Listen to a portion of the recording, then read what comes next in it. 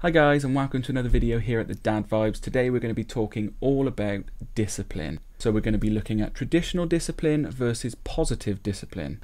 Now there's no question that our little ones certainly test our patience and push their boundaries, but how best do we respond, certainly as fathers? Do we respond more traditionally where we've maybe asked our little ones to sit on a naughty step or stand in the corner and think about what they've done? Or do we respond positively that can often be seen as permissive where we respond calmly, be present, and be responsive to their needs in that moment. So it's definitely time to get dads talking all about discipline, so let's dive straight into the video.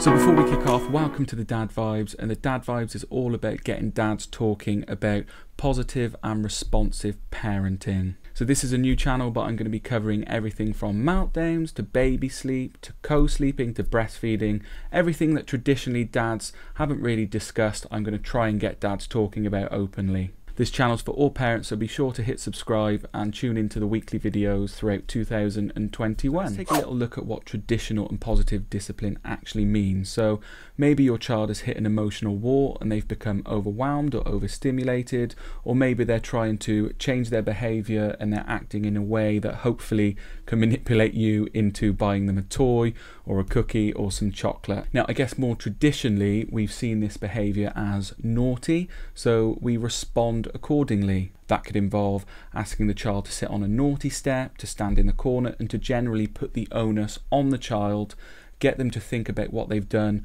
and get them to work it out for themselves, and get them to change their behaviour.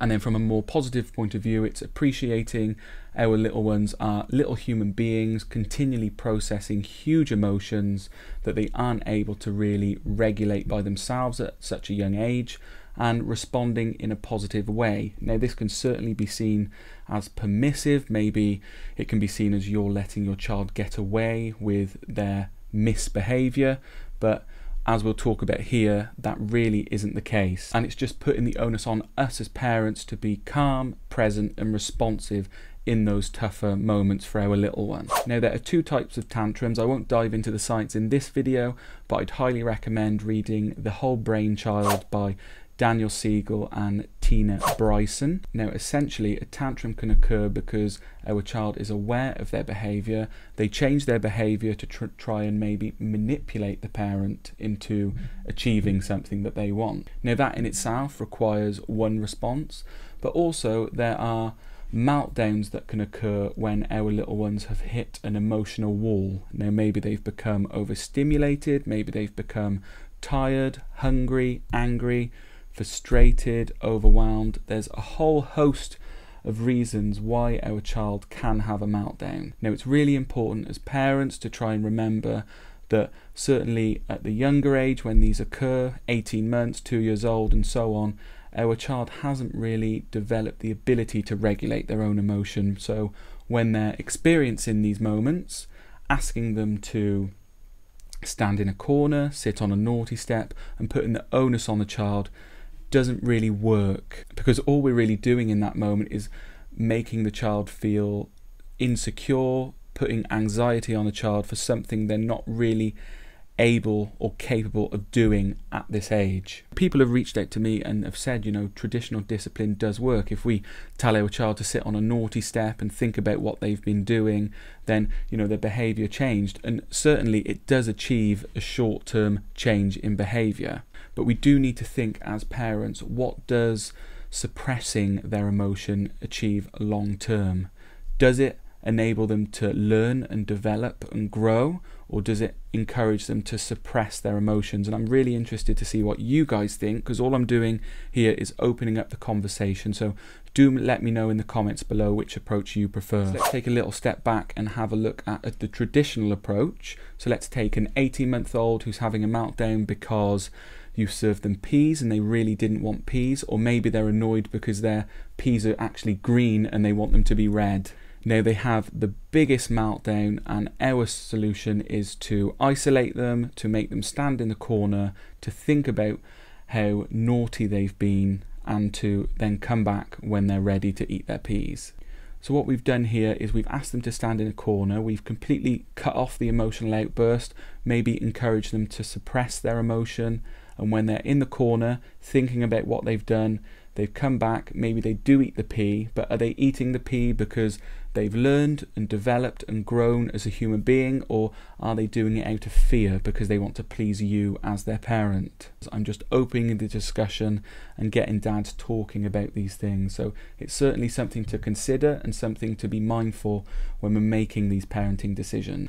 So the biggest thing for me and that I cling on to when I certainly read parenting books and interact with my little one is the suppressing of emotion. Now this is so important and we're seeing this worldwide today as, you know, mental health issues uh, rife certainly in young men and we need to encourage our little ones that showing their emotions is okay. What's really important to remember, and there's no question about this, is that childhood experiences are everything. The way we interact with our little ones, the way we make them feel about themselves is so important and lasts right through toddlerhood into those teenage years and into adulthood. There's no question about this. So it's so important to make our little ones feel secure and comfortable in showing their emotions. So if we look at the positive approach, let's take the same scenario.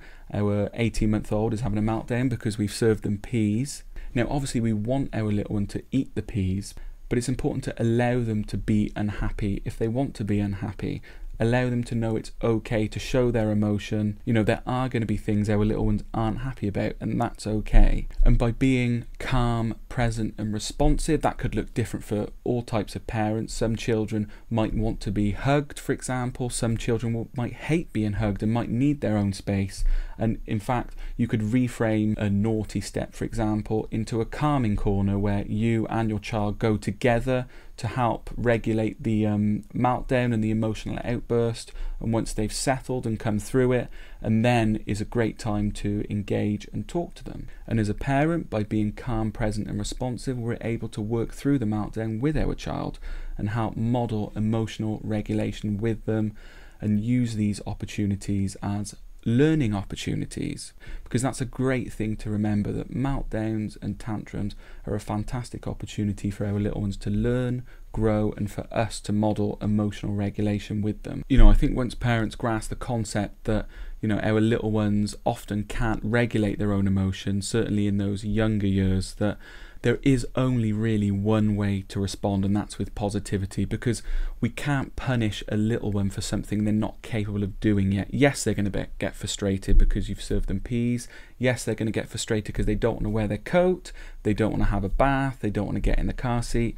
These hurdles are going to have to be jumped over all day, every day. And I think as a parent, by understanding um, this basic concept, it makes life so much less stressful doesn't make it easier um, because these things are difficult. You know, you just want to get out the door, but you've got to battle the socks, the trousers, the shoes, the coat, the gloves. But just gaining a, an understanding of this concept really does help lower stress, certainly as us as parents. And by lowering our stress, that will certainly stop situations with our little ones escalating because if our little one's stressed and we're stressed, situations can just blow up really quickly. If you're enjoying this video so far guys, please hit subscribe, please hit like and also leave me a comment, introduce yourself and let me know how you approach these tough situations. Obviously as our little ones get older, you know, they're going to become more aware of their behaviour and they are going to do things that is slightly more manipulative to get what they want. So it's definitely on the parent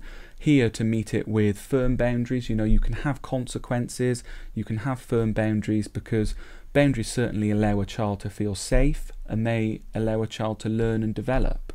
Being positive certainly isn't about being permissive, and I think that's one of the biggest misconceptions. Certainly, when I share my content, I think people associate positivity with permissiveness, and it isn't about that at all. You know, as our children grow, there are going to be boundaries and there are going to be consequences, but as a parent, continuing to be present and responsive and not withdrawing our love based on their behavior certainly will help with our child's self esteem, it will help with the way they think about themselves, help with them feeling secure and reducing stress and anxiety for sure. I think it's really important to remember that continuing to be calm, present, and responsive, not all of the time, you know, parenting's tough, it's not going to happen all of the time, but being mindful of this really does help.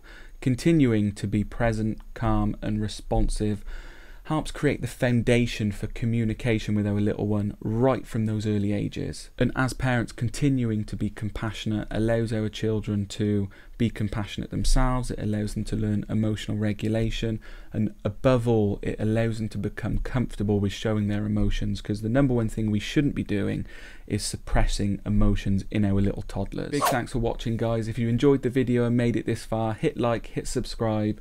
Throughout 2021, I'll be posting videos all about parenting every single week with the aim to just get dads talking about topics traditionally they haven't really discussed.